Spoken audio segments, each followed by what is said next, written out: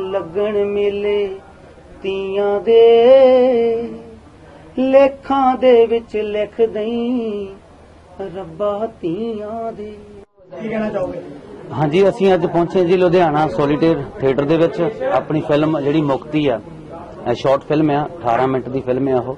ਉਹਦਾ ਅੱਜ ਅਸੀਂ ਪੋਸਟਰ ਤੇ ਅਸੀਂ ਟੀਜ਼ਰ ਜਿਹੜਾ ਰਿਲੀਜ਼ ਕਰਨ ਜਾ ਰਹੇ ਹਾਂ 5 ਵਜੇ ਅਸੀਂ ਟੀਜ਼ਰ ਜਿਹੜਾ YouTube ਦੇ ਉੱਤੇ ਰਿਲੀਜ਼ ਕਰ ਦਿਆਂਗੇ। ਤੇ ਇਹਦੇ ਵਿੱਚ ਮੇਨ ਲੀਡ ਦੇ ਵਿੱਚ ਰਾਜ ਕੌਰ ਨੇ ਕਿਰਦਾਰ ਨਿਭਾਇਆ, ਨਾਲ ਉਹਦੇ ਪਵਨ ਕਾਲੂ ਆ।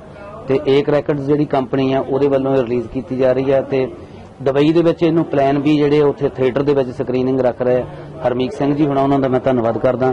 ਤੇ ਇੱਥੇ ਵੀ ਸਾਰੇ ਜਿਹੜੇ ਆਰਟਿਸਟ ਆ, ਜਿਨ੍ਹਾਂ ਨੇ ਇਸ ਫਿਲਮ ਦੇ ਵਿੱਚ ਕੰਮ ਕੀਤਾ, ਜਾਂ ਪ੍ਰੋਡਕਸ਼ਨ ਦੇ ਵਿੱਚ ਨਾਲ ਮੇਰਾ ਮੇਰੀ ਹੈਲਪ ਕੀਤੀ ਹੈ ਸਾਰਿਆਂ ਦਾ ਮੈਂ ਸ਼ੁਕਰੀਆ ਅਦਾ ਕਰਦਾ, ਸਰੋਤਿਆਂ ਦਾ।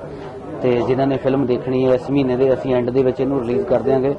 ਤੇ ਸੁਸਾਈਡ ਦੇ ਉੱਪਰ, ਸੁਸਾਈਡ ਦੇ ਅਗੇਂਸਟ ਇਹ ਫਿਲਮ ਹੈ ਤੇ ਆਸ ਕਰਦਾ ਕਿ ਫਿਲਮ ਨੂੰ ਸਾਰੇ ਜਣੇ ਬਹੁਤ ਜ਼ਿਆਦਾ ਪਸੰਦ ਕਰਨਗੇ। ਸੋਲਟਰ ਸਿਨੇਮਾ ਤੋਂ ਮੈਂ ਬੋਲ ਰਿਹਾ ਹਾਂ ਅੱਜ ਜੋ ਫਿਲਮ ਰਿਲੀਜ਼ ਇਹ ਕਰ ਰਹੇ ਨੇ ਪੋਸਟਰ ਰਿਲੀਜ਼ ਕਰ ਰਹੇ ਨੇ ਮੁਕਤੀ ਦਾ।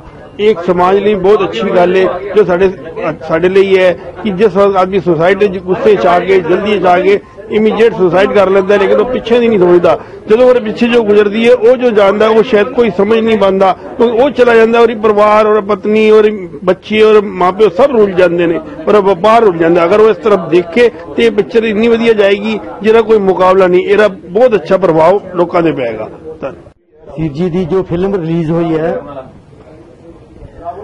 ਇਹਦੇ ਬਾਰੇ ਮੈਂ ਕਹਿਣਾ ਚਾਹਾਂਗਾ, ਜਗਜੀਤ ਸੀਰਾ ਜੀ ਇੱਕ ਐਸਟੈਬਲਿਸ਼ਡ ਬਹੁਤ ਹੀ ਮੰਜੇ ਹੋਏ ਕਲਾਕਾਰ ਤਾਂ ਹੈਗੇ ਹੀ ਹੈਗੇ ਨੇ।